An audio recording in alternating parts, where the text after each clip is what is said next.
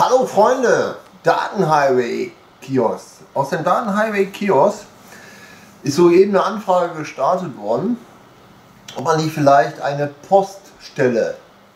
Warum in so einem Datenhighway eine Poststelle? Warum nicht? Wir haben das Copyhaus, wir haben das Medienhaus und dazu vielleicht noch eine Poststelle wäre gar nicht mal so schlecht. Ja, nebenan ist zwar die Postbank. Bank. Hm, die wären froh, wenn sie die Post ein bisschen abgeben könnten. Da wir in 2000 Meter geradeaus eine Postdienststelle hatten, die macht nämlich zu, sie schließt, äh, haben wir gesagt, gut, warum nicht? Vertreter kommt dann halt am Montag und dann unterhalten wir uns mal. Vielleicht wird hier raus auch eine Postdienststelle. Vielleicht macht man daraus auch vielleicht einen tollen Videoclip. Wir von der Post, ne? wie in alten Zeiten. Ach herrlich. Man kann ja eine Menge machen, auch als Postillion, ne? wenn ihr versteht, was ich meine. Die Postillion, wenn die da ihre Comedy abgehen, dann sind wir hier der Medienkanzler von der Post, der bringt dann irgendwie äh, die Papiere, ob nur Panama-Papiere oder Paris-Papiere an den Mann. Ja, das wäre das wäre es doch. Ja, wir haben gerade ein bisschen philosophiert darüber, über Panama-Papiere und Paris-Papiere, dass die Superreichen und Mega-Reichen äh, reich bleiben, weil sie nichts abgeben. Gut, wenn nichts abgibt, äh, müssen die untersten Ränge noch mehr dran glauben. Ja, man will ja auch da oben irgendwie dazugehören als Politiker. Manchmal frage ich mich auch, soll ich Politiker werden? Nun, wenn ich Politiker würde, hätte ich schon Lust, den Schwarzen zu machen, also den, den schwarzen Ritter oder den Robin Hood. Ja, irgendwie für Bürger da zu sein. Aber welcher Bürger möchte denn überhaupt heutzutage noch bürgerlich sein? Welcher Bürger möchte denn heute irgendetwas ins, ins Leben rufen für den Bürger, vom Bürger? Denn es gibt auch keinen mehr, der anklingelt und sagt, immer, hast du mal eine Tasse Zucker oder, oder Mehl? Ich bin gerade am Backen, aber mir fehlt da noch ein bisschen. Es, heutzutage kann man nicht mehr beim Nachbarn anklingeln, weil dessen Sprache man ja gar nicht kennt. Und als Deutscher sollte man schon mal gar nicht irgendwo anklingeln. Wenn man die Wahrheit und nicht als die Wahrheit weiß, weil man es studiert hat, weil man es nachgelesen hat oder weil man sehr gute, äh, fachlich bezogene Anwälte kennt, Politiker kennt, mit denen man sich wirklich gut unterhalten hat über die Politik, über das Recht und so weiter und dadurch natürlich viel Kenntnis hat. Also wenn man viel Kenntnis hat von der Wahrheit, muss man sehr vorsichtig sein, diese Wahrheit ausgesprochen zu haben, weil in Nanosekunden, das ist aber eine gefährliche Wahrheit. Das geht aber überhaupt nicht. Sie haben aber gefährliches Wissen. Sie sind ein Reichsbürger. Nee, eben nicht. Man ist kein Reichsbürger, wenn man die Wahrheit und nichts als die Wahrheit kennt. Das Problem ist nämlich gut gemacht. Es gibt natürlich diese Reichsbürger, keine Ahnung, wo die da rumschwirren und was die sich da ausdenken. Das hat ja mit dem Recht nichts zu tun. Es geht um das Recht. Das Recht ist sehr alt ist auch geschrieben und fungiert ja auch. So, das Problem ist natürlich das Strafrecht, das ist ein bisschen anders, hat ja mit der Person zu tun und eine Person und Persönlichkeit kann im Strafrecht ganz anders gehandelt werden wie im Zivilrecht. Das Zivilrecht ist rein Banalität, Geld. Mehr Macht, kein Geld, noch weniger Macht und so weiter. Es geht um Geld. So, wenn wir dann feststellen, zum Beispiel lag hier ein Urteil, aber nicht unterschrieben. Gar nichts. Und dann haben wir das abgestempelt von einem Justizbeauftragten. Jetzt brauchen wir uns nicht darüber unterhalten. Wer nicht unterschreibt, ist nicht gültig, weil eine Gültigkeit muss ja durch eine Willensbeurkundung ja auch geschlossen sein. Ob ein Vertrag, egal welcher, sollte auf irgendeine Art ja auch abgeschlossen sein. Gut, ähm, nach diesem 2 zu 4 Vertrag, nach dieser Vereinigung Deutsch, hat sich natürlich eine Menge verändert. Wir leben nicht mehr in BRD und DDR-Zeit. Ja? BRD und DDR-Zeit war nun mal strukturiert. Ja? Ein sozialer Staat, Sozialismus, wo man auf sein Papp-Raketenauto warten musste bis zu 15 Jahre. Und dieser Trabant, Trabi und so weiter und wo Markwart oder wie der da hieß, äh, diese Autos, also überwiegend Trabi, musste man lange drauf warten auf diese Superpappe, die auch sechs Leute irgendwo hingefahren hat, weil der Zweitaktmotor nicht so schnell kaputt ging und man konnte ihn auch sehr schnell, glaube ich, reparieren. Das war DDR. So, wir hier in der BRD haben auch 40 Jahre Aufschwung äh, erlebt und wir haben vieles da gemacht. Mahlzeit, hallo. So, wir sind keine BRD, wir sind keine DDR, wir haben keine 40 Jahre Aus den 40 Jahren BRD, DDR sollten wir doch gelernt haben, ein neuer Deutscher zu sein. Wie der aussieht, ist egal. Sobald man ein Deutscher ist, der deutschen Sprache mächtig, der deutschen Ausrichtung auch, sich dem hingegeben hat, sagt, okay, ich bin ein Deutscher, ich lebe Deutsch, ich spreche Deutsch, ich mag Deutschland. Deutschland muss man aber durch 16 teilen. Es sind 16 Bundesländer und müssen 16 Mal verschiedene Bundeslandpolitiker für den Landtag wählen. Und einmal wählen wir ein für den Bundestag, für das Oberste. So, und da können wir natürlich nicht mitsprechen. Da können wir keinen Bundeskanzler wählen. Frau Merkel, Frau Merkel, das wird da selbst gemacht und so weiter und so fort. Also wir können keinen Bundeskanzler selber wählen. Wir lernen daraus, dass wir nur Bundesländer wählen können. In dem Bundesland, wo man lebt. Stadtregierung. Sogar die Stadtregierung wählen wir. Wir haben also eine Menge. Wir haben eine Stadtregierung, die wir wählen, den Bürgermeister, den Oberbürgermeister.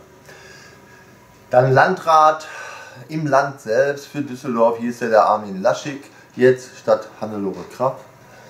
Äh, wir haben politische Ausrichtungen und in Wirklichkeit ist immer alles gleich. Die Ausrichtung ist eine andere, das ist richtig. Grün, Gelb, Magenta, Grüße. Die Frage lautet, soll ich Politiker werden, quer einsteigen? Zum Beispiel die Grünen, bist du auch für ein sauberes Frohenhausen, bist du auch sauber, froh? Ne? Dann haben die Grünen hier fragen die Leute, hast du keine Lust? Viele nehmen das mit und denken, man kann damit Geld verdienen, indem man hier rumschrubbt. Nee, man soll mit den Grünen zusammen äh, freiwillig hier alles sauber machen. Ja, man soll die Stadt freiwillig sauber machen. Bist du nicht auch froh, wenn die die Stadt sauber machen? Dann frage ich mich, wozu haben wir Eber, das ist die Firma, die an sich dafür zuständig ist. Wir zahlen horrendes Geld, damit hier alles sauber wird. Wir als ähm, Betriebe erst recht. Wir müssen ja hier auch alles sauber halten und so weiter. Ja, dann gibt es natürlich ähm, dann die etwas radikaleren Politiker, die da ähm, hochhalten, ey Leute, wir sind Deutsch, wir sprechen Deutsch, ihr wisst schon, da wollen wir gar nicht drauf eingehen, das ist eben so. Die tragen auch diese sogenannten Zipfelmützen. Es war einmal äh, ein Land im Herzen ne, und so ein Quatsch. Ja, Land im Herzen und so. Dann auch für die Kinder, da sind die anderen Hallöchen, grüß euch. Ja, gerade mit Kunden gesprochen. Ich soll also kein Politiker machen, weil Politiker sind halt, wie Politiker sind und meiner einer ist halt nicht so. Ja, ich würde sehr gerne Politik machen für den Bürger, mit dem Bürger und mal, aber boah, ich weiß, als Star Wars, als euer Rebell, ähm, ist das als Captain Rex, ist das so eine Sache. Äh, wie den Menschen auch auf den Weg bringen, nicht des Kaisers neue Kleider zu huldigen und nicht den Leuten da vertrauen, die uns da wirklich von morgens bis abends äh, Sachen da auf den Weg bringen. Vorhin hat Herr Lindner auch wieder, da habe ich nur gesagt, unter Holzkreuz muss da hängen. Die sitzen da in so einem komischen Raum da sind da am Verhandeln. Der sah ein bisschen merkwürdig aus, der Raum, ziemlich großer Raum, wo die Politiker sitzen, die Grünen und dann die bayerische Fraktion, dann Frau Merkels Fraktion etc. Also die gesamte Mannschaft sitzt da an einem riesengroßen U, äh, haben dann ein riesengroßes äh, Kreuz da hängen.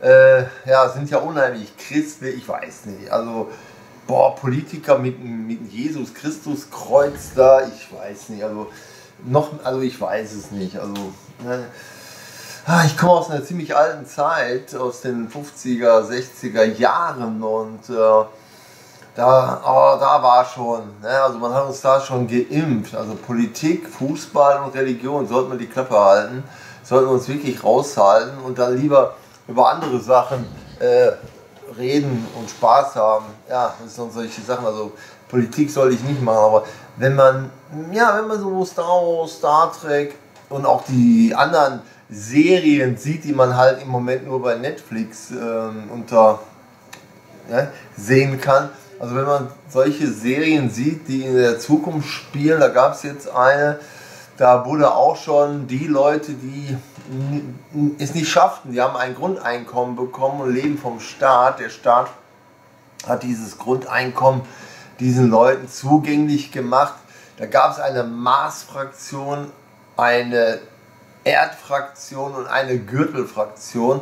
Also Menschen, die von der Erde weg zum Mars, den Mars besiedelt haben und dann auch in den Randzonen äh, auch besiedelt haben. Die nannten sich die Gürtler, die Marsianer und die Erdmenschen und zwischendurch natürlich die Kartelle, die Panama und Paris äh, Papier so richtig haben, auch schon in der Föderation beziehungsweise auch in den Serien, Sci-Fi-Serien. Und wenn man sich diese Sci-Fi-Serien anschaut, auch jetzt die neue Star Trek Sci-Fi-Serie sich anschaut, ähm, merkt man schon, dass es fast immer alles dasselbe ist. Auch ähm, wenn man jetzt die Discovery sieht, äh, die Ärzte, die da arbeiten oder wo man sich selber verarzten kann, äh, ist fast immer das Gleiche.